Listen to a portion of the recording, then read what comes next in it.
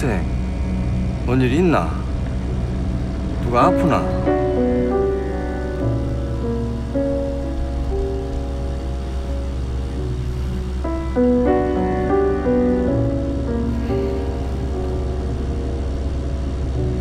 이번에 볼륨을 높여요. 마지막으로 오늘 1위 사연 발표합니다. 부산 수영동 성시원 씨의 사연이 1등으로 뽑혔는데요. 평생 저를 위해 고생만 하신 우리 아버지가 갑자기 암 선고를 받으셨어요. 요즘 항암 치료로 많이 힘들어 하시는데 저희 아빠 힘내시라고 단 1초라도 좋으니까 우리 볼륨 가족들 저희 아버지를 위해 기도 좀 해주세요. 정말 따님의 간절한 바람과 사랑이 너무나도 듬뿍 담긴 사연이네요. 부산의 성시원 씨에게는요 기운 잃지 마시라고 선물 보내드릴게요. 프랑스 정통 청바지죠. 마리떼 프랑스와 저버에서 고급 청바지 보내드리겠습니다. 그리고 성시원 씨 힘내시라고 마지막으로 음악 선물도 보내드릴게요. 크랜베리즈의 Ode to My Family.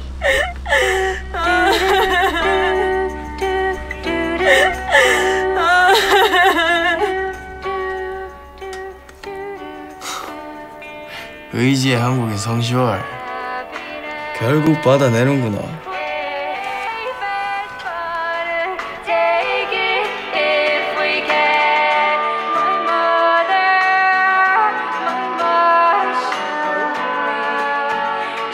told me when I was out there. My father, my father, he loved me. Oh, he liked me, so I didn't care. Ha ha ha.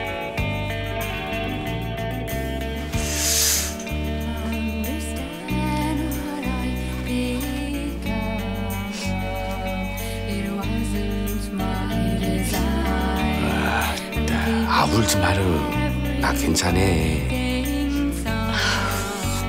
옷이 뭐 이렇노?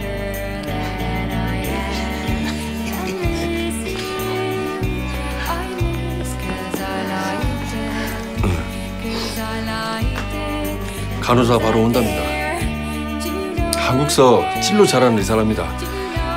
걱정하지 마시고 한숨 푹 주무신다 생각하이소. 그래 태구나 아무튼 간에 네가 우리 두 여성 좀 잘 좀 챙겨라.